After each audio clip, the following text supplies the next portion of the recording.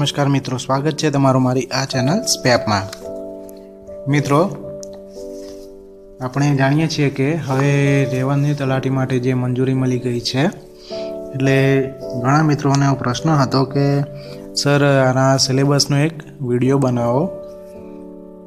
એટલે આનો જે વીડિયો મેં બહુ પહેલાં અપલોડ કરેલો, પણ એમાં કંઈ ડિટેલમાં હતું નહીં, એટલે અત્યારે હું રેવન્યુ તલાટીનો જે સિલેબસ છે એ હું અહીંયા ડિટેલમાં સમજાવીશ. મિત્રો, રેવન્યુ તલાટીમાં જે પ્રાથમિક લેખિત પરીક્ષા હોય છે, ત્યારબાદ કમ્પ્યુટર ટેસ્ટ હોય છે, એટલે આજે આપણે ભાગ એક, એટલે કે લેખિત પરીક્ષાનો જે અભ્યાસક્રમ છે, એ જોઈશું. મિત્રો, આ માટેનો જે સમયગાળો છે, એ એક કલાકનો છે. અને કુલ જોઈએ તો એમાં ચાર ભાગ છે સિલેબસમાં. સૌ પ્રથમ તો જે ગુજરાતી ભાષા હોય છે, એ પંદર માર્ક્સમાં આવે છે.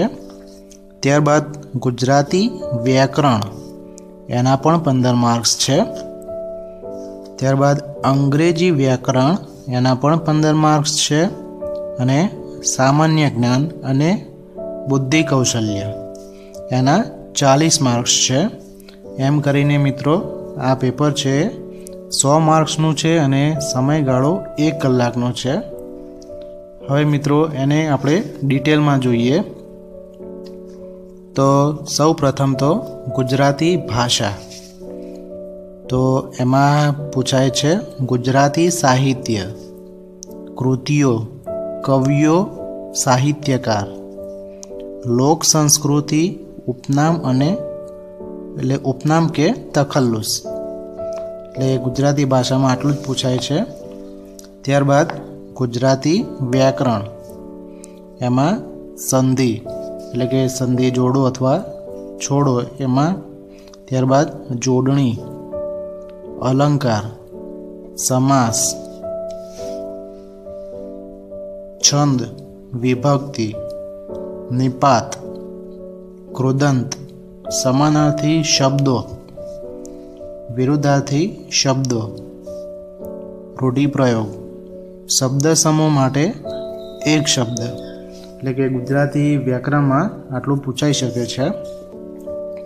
ત્યારબાદ ત્રીજો ભાગ છે આનો અંકગણિત. અંકગણિતમાં મિત્રો, નફો ખોટ ટકાવારી, સાદું વ્યાજ, ચક્રવૃદ્ધિ વ્યાજ, ઉંમર સમય, અંતર અને કાર્યના દાખલા વગેરે. એટલે કે અંકગણિતમાં આટલું પૂછાઈ શકે છે. ત્યારબાદ અંગ્રેજી વ્યાકરણ.